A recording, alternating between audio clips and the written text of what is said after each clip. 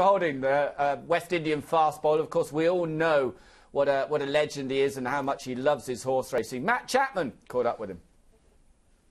Michael, you learn Sir Michael Stoute for a long time. Top trainer at Royal Ascot this year. That was something a bit special. Very special. But to be honest, Matt, I'm thinking that he may think that if the Queen had won the Gold Cup again, he would have been a bit happier. Mm. But four winners at Royal Ascot, fantastic that memory of 2013 when Esterbrook powered home and the Queen was screaming in the box will live with everyone, I think, forever. Yeah, definitely. You know, when you see the Queen who loves her horses and getting so much fun out of a particular race, and remember, she was supposed to be presenting the cup, and she had no idea she was going to win it.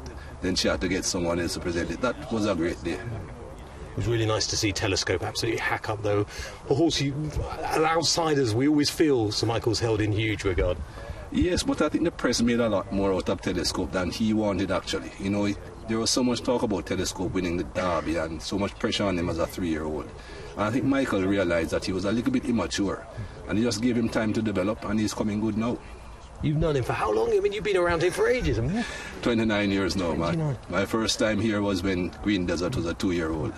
And we, wow, Green Desert, dear, what a good horse he was. I remember him in the in the July Cup. Um, we don't feel we know Sir Michael that well, and you were telling me a little earlier that he, he's very elusive. Even you, after all these years, wouldn't know everything about Stoute. No, not at all. But I, I go to him at nights. You know, he, he relaxes a lot more at nights, out having a, a, meal, having a drink, and he lets his guard down. Does he? In what way? Definitely. When he's with his friends, you know, he even say things that you wouldn't have heard him say.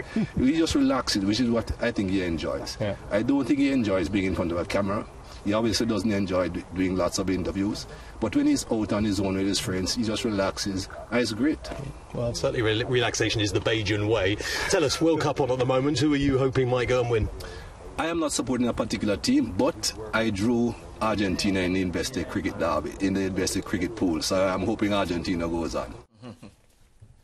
Real good man, Michael Holding then, the uh, West Indian fast bowler. Um, he loves being up there, Newmarket, on the gallops in the morning. That's his thing, and he, he just dodders around behind um, Sir Michael, and you know just loves it. Loves his horses. That's his thing. Apart